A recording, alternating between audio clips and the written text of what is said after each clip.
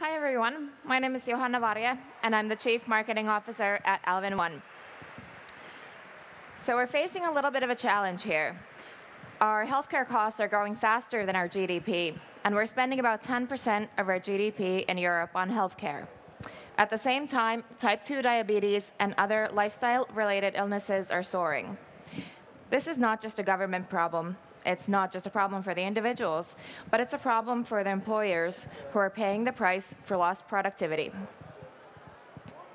But I have good news too. 75% of the money we're spending on healthcare is estimated to be spent on conditions that we could actually treat, that we could prevent beforehand. And that's where Alvin One comes in. Odum, the company behind Alvin One, has been around for 30 years in the field of preventive healthcare. We've been able to collect the data from 200,000 Finnish people, and our database size reached 9 million data points last year. With our long-term partner, VTT, the Technical Research Center of Finland, we were able to develop a machine learning algorithm that can actually predict future illness. Alvin One was launched in April 2017, and it looks like this. For the employee, Alvin One is a personal health coach. For the employer, HR and management, it's an intelligent way to optimize employee performance through improving their health. It creates an ecosystem of well-being that connects the work community with the information and services that the work community needs in order to improve their own health. The global mobile health market is expected to reach over 25 billion US dollars in 2017. Our market share, our target market share is 10% of employees in large multinational companies. And with this market share, we expect to reach 175 million euros in revenue by the end of 2019 in the Nordics, Germany, and China. Uh, our business model is a user-based license fee.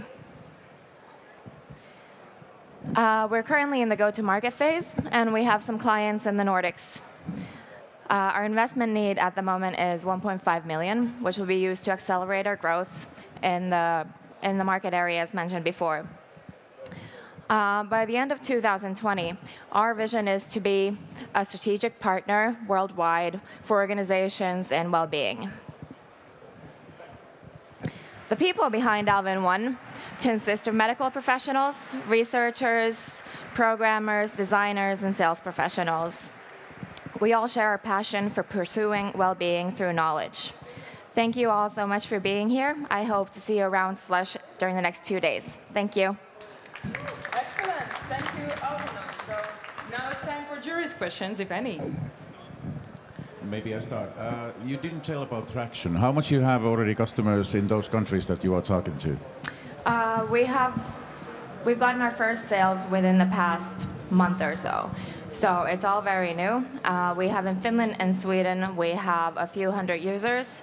Uh, with this product, our previous generation product, which you maybe saw on the timeline, has thousands of users, and that's how we've been able to collect the data.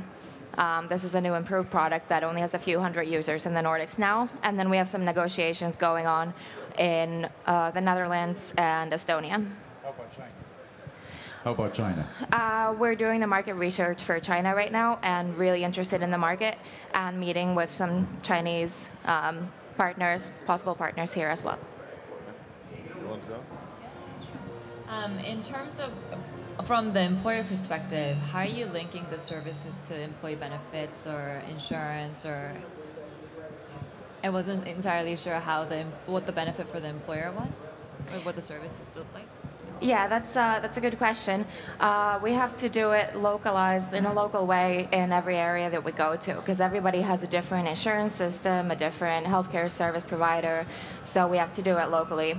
Uh, we also we're looking for digital services that we could connect to our product that would work in several countries, but otherwise it's local services. You said that your service was able to predict future illnesses. I didn't get, or, or maybe you didn't say, but how good is it at predicting? I mean, do you have any kind of measurement or, or estimate on that? Because just saying that it predicts future illnesses is, is rather broad. And also based on what, what data uh, it predicts that? Yep, good questions. So it's based on, self-assessments. It's a mobile app and you feed in data. Um, and right now we're up to 83% sensitivity on the prediction. Uh, when doctors make a diagnosis, it's around 80%, so 83 is pretty good. So, so just to understand, so do, do you, is this like triage? So you do this when you're sick or you do this like a few times every year? It's like, like a yearly checkup or? Yeah, basically, it could be a yearly checkup. You can do the prediction more often, and it sends automatic reminders based on your last results on when you should do your next one. just like lifestyle factors and Yeah. it's not like ah i'm feeling sore in my throat it's more like i'm smoking and i'm overweight Yeah, it's Yeah. more about uh, chronic illnesses that we can prevent with lifestyle changes. okay cool thank you I, I also am I'm more curious of uh, since since you're in the AI batch, uh, wh- what kind of AI are you then actually uh, implementing on this one, and and who in your team is responsible for the AI part? The AI part is in the prediction, so it's a machine learning algorithm that can actually predict based on very few factors. It calculates from 5.5 million different scenarios, the AI, um, if you're going to get sick or not. In our team, Mark Van Gils, he's a professor at VTT, the Technical Research Center of Finland. He's the one who is responsible for that and can answer more technical questions regarding that. So in terms of the actual benefits from the employer side, like how are you pitching to the employer so that they, they onboard their employees on your platform? Is it, you know, savings on their uh, employee benefits and healthcare plans? That's why they want to onboard on this platform. Like I'm not entirely sure what it is.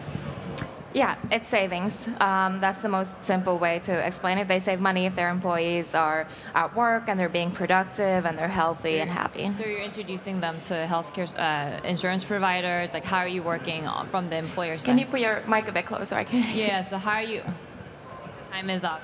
Okay, I'm sorry. Okay, Thank you. time is up. Let's give a big hand to the first speech of the day.